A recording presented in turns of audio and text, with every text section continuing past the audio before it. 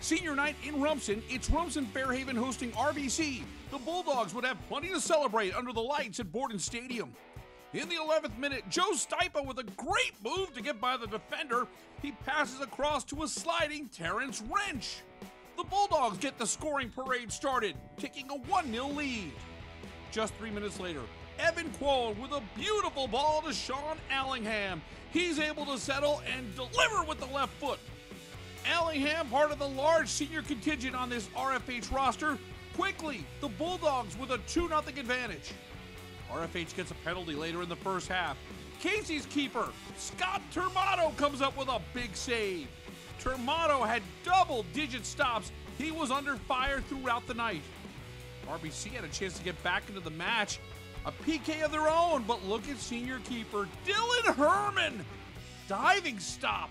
He's fired up and for good reason. An outstanding save keeps it a 2 0 game heading into the half.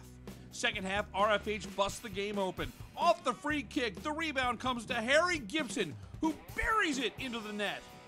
Gibson makes it a 3 0 contest. A monster game for Luke Pentikis. Check out the pace on this shot. Serious mustard.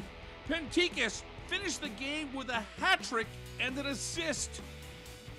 And it was a family affair. Alec Pentikis got in on the fun as well. This penalty, perfectly executed. Rumson Fairhaven starts the 2020 season with 13 goals and two clean sheets. 8 to nothing is your final. RFH with a big two game series with Holmdel next week, looking to end the Hornets' 56 game unbeaten streak. That'll be fun to watch. In Rumson, I'm Rich Grampanis for JerseySportsZone.com.